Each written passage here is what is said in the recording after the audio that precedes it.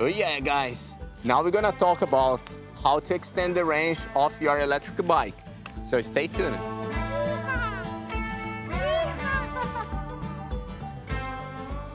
Point number one, tires. Tire tread and tire pressure. If you look to this tire, it says 58 PSI. This is the maximum recommended pressure. If you wanna extend the range of your electric bike, you should ride with at least 75% of the recommended maximum pressure. Anything below 75% will decrease your range. I think this bike right now is about 90% of the recommended uh, tire pressure. If you are a heavy rider, your bike's heavy, big hub motor on the back wheel, for example, or is a cargo bike, you're always carrying heavy loads, pay attention to the tire pressure. If the tire pressure is too low, you're gonna cause damage to the rim, to the spokes, to the bearings, and can be catastrophic uh, if you pass on a pothole at high speed. Another important thing is the tire tread. You can see this tire is a slick tire. In my opinion, the best tire for my application is the type of tire that decreases rolling resistance and will further increase the range of your bike. This bike is very fast on the asphalt. And in conditions like rain, snow, or gravel, what I suggest you to do, deflate the tire. I'm gonna get a stick and I will start deflating. This stick's not strong enough. You deflate your tire, okay? Let me check here. Could be a bit more. To increase the footprint of the tire and increase contact of the tire with the soil. So this is a good tip in case you choose a slick tire and you see yourself in an adverse condition. The other important thing to mention about tire pattern is that the wider the tire and the more spread out the tire knobs are, the higher will be the rolling resistance of that tire. It means that tire will consume more energy of your bike battery to, to be pushed you know, forwards. I like this tire very much, man. So as you can see, matching human power with the electric power is something very important. For example, Right now, there's no force on the cranks and the motor is being triggered and going madly, you know, continue accelerating. There's no force whatsoever. So it's very important to realize if your legs are actually pressuring the pedals and producing any force at all to help you move the bike. Don't get confused by spinning pedals with producing power. As you, as you just saw here, there is no force on the pedals and the motor is being triggered.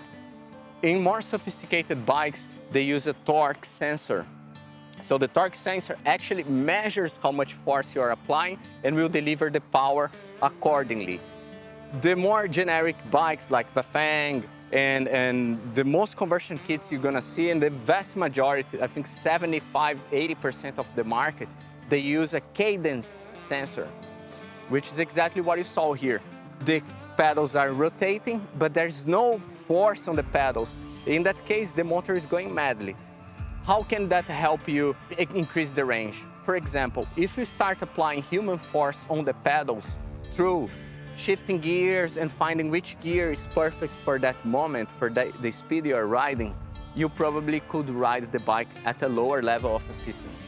So adding human power to the pedals and realizing when the motor, electric motor is accelerating you or when your legs are accelerating the bike makes all the change in how far you can ride your e-bike.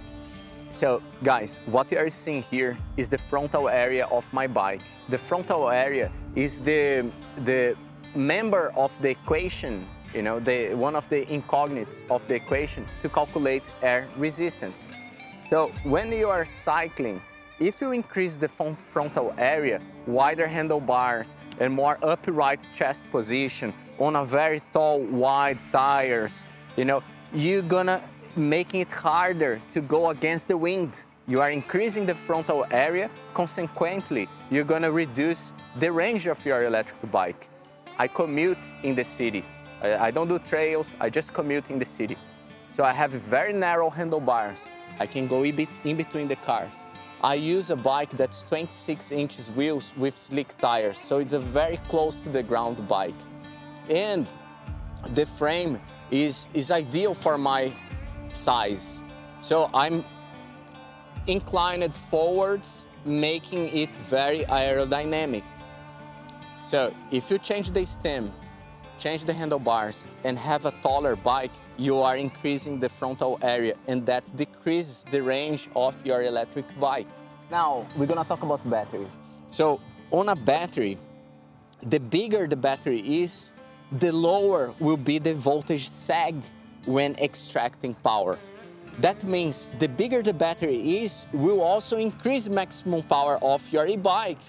And people sometimes talks about only amp hours and amp hours is range. No, amp hours are also maximum power. If you want uh, uh, your battery to last a long time and your range to be decent, buy enough battery for your motor. So sometimes the trip is shortened because you are throttling too much or pedaling too much in a very hard terrain.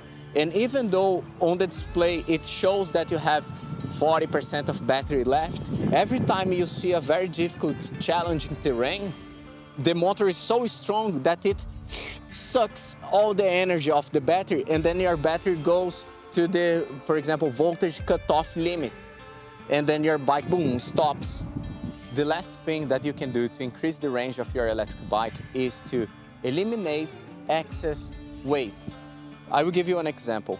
Years ago, I built this bike and I had some need to carry pannier bags, maybe my drum every weekend, and I installed this rack. Now, uh, because I have the Centaur, you guys know the Centaur, uh, I don't need to, to carry the loads on this bike. I use the Centaur, which does the work way better. So I haven't been using this rack for about one year.